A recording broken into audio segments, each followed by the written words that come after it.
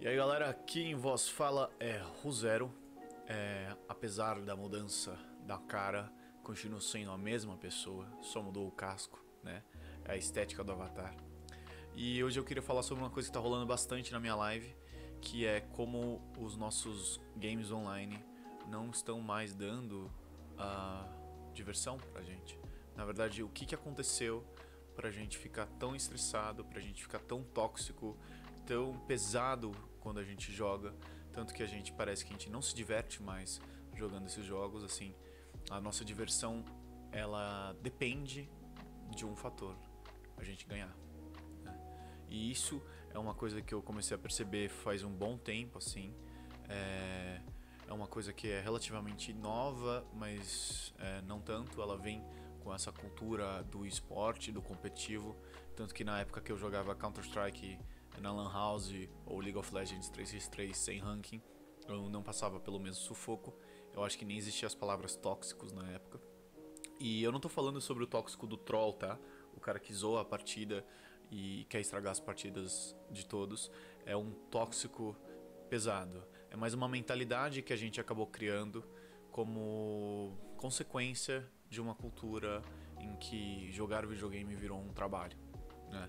Eu acho que para mim, pelo menos, tudo começou quando o ranking ficou mais importante do que a diversão. A, o ganhar ficou mais importante do que a diversão. Parecia que é, eu decorava todos os detalhes para conseguir ganhar e eu esquecia todos os detalhes para me divertir. E isso é uma coisa que eu acho que está aí um tempo já e, e tem esse peso. Jogar não é mais leve, infelizmente. E eu lembro de uma música do da Riot Games, né, a desenvolvedora do League of Legends, que foi o Imagine Dragons que, que tocou, é Warriors. E a primeira estrofe da música fala: é, As a child, you would wait and watch from far away, that you always knew that you'd be the one that work while they all play. Que significa, basicamente, que quando você era uma criança, você esperaria, porque você sempre soube que enquanto eles brincam, você trabalha. Então começa aí alguma coisa muito estranha em relação ao cenário competitivo, em que você leva o jogo tão a sério como se ele fosse um trabalho. E, e é muito estranho isso, né? Porque é, tudo bem, eu acho que quem é, é, profissional leva a sério mesmo e não é mais só uma diversão, porque o cara ganha dinheiro com aquilo. Só que isso se espalhou para todos os locais de competição, assim, foi para quem não queria mais ser profissional, para quem queria ser profissional, para quem queria só brincar, todo mundo ficou com um espírito de competição muito forte e, e, e assim, não tô falando que começou com essa música, mas isso fala muito sobre o movimento de não brincar e de jogar a sério, sabe? E todo mundo começou a jogar muito a sério, né? Eu começo a perceber que hoje em dia, quando eu vou jogar um League of Legends ou quando eu vou jogar um CS, até um Dead by Daylight, que a história do Dead by Daylight é, são quatro pessoas fugitivas de um assassino como que você vai jogar isso a sério, sabe? Mas a partir da hora que enfiam ali um ranking para você, que aliás é uma ferramenta para você voltar pro jogo no dia seguinte, né? É uma questão de design de games, é, um, é uma da, das formas de retenção de usuários, né? Porque o que eles querem é que você fique mais tempo no jogo deles. O ranking, a competição, é uma motivação pra gente, né? Então a gente volta para competir.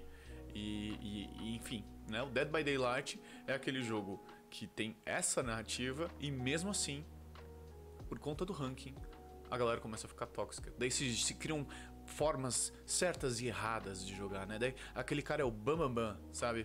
Eu, eu lembro de ter jogado no começo com as minhas amigas, assim, nossa, e pra mim, velho, eu grito, eu racho o bico, sabe? Eu tava, eu tava brisando nesse jogo e eu joguei com as minhas, minhas amigas e foi super legal. Daí depois de uns dias eu encontrei algumas pessoas aleatórias num grupo de Dead by Daylight e eu fui jogar com o Bam Bam Bam, né? O famoso fodelão dos jogos. O cara é, sabia tudo, todas as manhas, todo não sei o que, tanto que no final ele foi o único que ficou vivo, mas durante o jogo inteiro eu não consegui me divertir. Porque é, ele levava tudo muito a sério, sabe? Se, se eu ficava aflito e falando, meu Deus, o cara tá aqui gritando tal, ele falava assim, meu, que exagero, cara, para com isso. Tipo, eu tô tentando fazer o objetivo. E daí eu fiquei, meu, mas o objetivo é qual? Né? Pra ele é ganhar, pra mim era se divertir Né? E, isso é uma coisa muito estranha, porque o cara, pô, ele joga bem, parabéns. Mas e aí, sabe? Tipo, abrir mão da diversão para ganhar um jogo que você ganha ranking? É isso? Tipo, pra quê? Sabe? Pra quê essa, essa perseguição pelo ranking, essa perseguição pela patente, a perseguição pelo status de ser alguém no jogo, a mera ilusão de que você é melhor do que os outros, sabe? Tipo, é, é um, uma coisa muito louca, porque eu já tive isso muito na minha vida. Eu lembro claramente de, de ter isso forte em mim. E, e, é muito estranho a gente criar essa cultura da competição em que a gente é completamente fissurado pela vitória. É uma coisa assim de, de você focar tanto na vitória, mas tanto que todo o processo, a, a, o jogo inteiro, ele não importa, né? É, é, é, cada erro, cada, cada cálculo mal feito, cada, cada coisinha que deu errado tem um peso tão grande porque te afasta da vitória né? E não é uma parte do jogar, não é uma parte, não é normal errar, então você não permite que o seu time jogue mal, você não permite que você jogue mal, você não aceita que você pode errar, você não aceita que o outro pode errar e fica esse peso enorme porque você quer ganhar. E desde o começo do jogo até o final, esse peso enorme ao jogar, porque a única coisa que importa é o final, e daí você fica lá vivendo um futuro possível em que você ganha, né? Para quê? ganhar uns pontos no, no ranking, ganhar é, reconhecimento alheio das pessoas, como se alguém se importasse com seu ranking além de você. Né? A única pessoa que se importa com seu ranking é você. Não queria lhe dizer, mas é você. Não, os outros estão pouco se lixando se você é verde, amarelo, um, dois ou três, global, AK, águia, galinha, tanto faz. É você a única pessoa que fala para você mesmo que fala assim: nossa, como eu sou foda. Porque os outros acham isso uma bosta. Né? A gente tem essa mera ilusão de ser alguma coisa com ranking. E é isso, é divertido, claro que é divertido a gente se desafiar, jogar uma coisa um pouco mais sério. Só que a questão é que a gente pode competir sem ter esse peso. Cara, a gente pode competir sem xingar o companheiro porque ele errou, ou sem se sentir mal por ter errado, sabe? Ou, ou simplesmente aproveitar o jogo conforme as coisas vão fluindo. Porque quando a gente joga para se divertir, ou a gente joga pelo menos para ganhar sem dar tanto peso para a vitória, a gente consegue aproveitar mais esse caminhar, né? Porque se você tá com a cabeça lá na frente, o que tá acontecendo aqui não importa. Se o, futuro é o que te faz feliz, o, pre, pres, o presente não importa. Você não tá nem vivendo nem jogando, você tá ali existindo num jogo, num sofrimento. Não é à toa que tudo é tão pesado, velho. Então acho que a gente tem que ter um espaço para recuperar a nossa diversão. A gente tem que ter um espaço para recuperar a nossa leveza. Porque os jogos, para mim, por muito tempo foram um, um, aparelho de respirar. Eu colocava uma máscara, que se chamava videogame, numa época em que estava muito tenso, a minha família estava muito tenso, o ambiente, é, muitas coisas pesadas e tristes rolando. Eu não conseguia respirar na vida e o videogame foi a minha máscara. Eu, eu, eu coloquei aquilo pegava o fôlego para conseguir enfrentar a vida. Isso era muito diferente, porque os, os jogos me recuperavam. Só que hoje em dia, com essas coisas pesadas que existem, parece que você entra num lugar que era para ser o seu porto seguro e vira um peso também. Então até aí o videogame tem peso, cara. Até aí onde é o único lugar em que a gente desestressava, que a gente dava risada, que a gente conhecia outras pessoas, a gente não tem mais isso a gente entra no jogo, sei lá, a gente entra no jogo competitivo hoje em dia, é assim, não tem comunicação de, oh, e aí, quem é você, sabe? É tipo, a minha posição é essa. Porque a gente tá focado no objetivo, ótimo. Mas a gente não troca ideia, sabe? Tipo, não tem um mínimo de contato humano.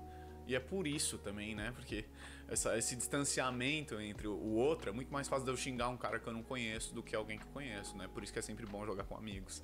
Mas é uma coisa bizarra, sabe? É eu acho que a gente tem que reverter essa situação. Eu acho que todo mundo sente a mesma coisa.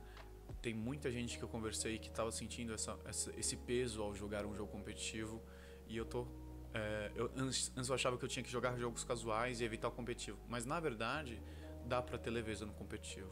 Dá para ter leveza é, competindo com alguém. Não precisa ser essa coisa pesada. Então a gente pode ter isso, a gente pode ter o melhor dos dois mundos, a gente pode jogar e dar o melhor de si e fazer o melhor jogo possível. E tudo bem se a gente errar, tudo bem se o time errar, vamos continuar, vamos fazer aquele jogo em que a vitória vale a pena e que perder também vale. A, o, o, perder tem gosto de vitória. É quando você fala GGWP, né? Realmente tá falando aquilo porque valeu a pena aquele jogo. Foi um jogo bem jogado. Ninguém, ninguém desistiu, ninguém ficou trolando, ninguém ficou xingando, não teve rage dos dois lados. Você não falou com outro time coisas ruins, né? Que às vezes a gente também joga pro outro lado. O outro time também não veio encher o saco, porque vira essa coisa pesada, né? Quando o jogo é leve, a gente sabe que é bom. E eu acho que é isso que vale a pena. É só você lembrar um pouquinho da sua infância, de quando a gente jogava, a gente brincava na rua, ou a gente brincava no colégio de esconde-esconde, ou pique-esconde, ou pega-pega, ou mãe da rua, sei lá qual era a brincadeira que a gente brincava. E a gente simplesmente brincava. Né? Não importava se eu era o melhor pegador ou se eu era o cara que melhor se escondia, porque não importava se eu corria a mais e era pego no, no, no, meio do caminho, porque eu tava sempre dando risada, sabe? Eu tava sempre me divertindo. O processo inteiro era muito bom. Perder, perder e ganhar tinham o mesmo gosto. Ali não tinha status, ali não tinha ranking, ali não tinha, mano, aquele ali é o pegador top 1 do bairro. Não, não tinha. E tanto que isso não importa. Criaram uma coisa pra gente dar valor, um valor falso, e agora a gente tem que tirar isso da gente esse falso valor dessas falsas patentes e falsos status tem que sair, cara. Porque e aí, no final da sua vida você vai ter 50 anos e vai falar pro seu filho: "É, eu fui global. Eu fui diamante". Né? Que valor tem isso? O valor é aquele valor que a gente quer para nós, e não os valores que dão pra gente. Tem outras coisas que valem mais a pena em um jogo competitivo. Talvez criar boas amizades, talvez fazer um time em que você se intera interaja e, e crie táticas e realmente sinta que ali tem algo que é mais do que o jogo. Talvez tenha outras coisas que a gente possa explorar além da vitória. Então talvez esteja na hora da gente esquecer um pouquinho a vitória e lembrar um pouco da diversão. Isso é um pedido que eu faço. Eu aposto que a criança dentro de vocês ou a criança fora de vocês, tem muita gente nova jogando esse jogo, tá pedindo isso para vocês. Não matem a sua diversão antes da hora. Não acabem com ela. Joguem para se divertir. Pode jogar para ganhar à vontade, mas não esqueça de se divertir. O jogo pode ser leve. E é assim, como eu sempre falo, né? Fiquem bem, fiquem zen, não façam mal a ninguém. E se a vida é breve, que ela seja leve. Assim como o jogo, que é mais leve que qualquer coisa. Vamos recuperar o que a gente perdeu. É isso, gente. Um abraço. Fazer live agora. E fiquem todos bem e zen. E não façam mal ninguém.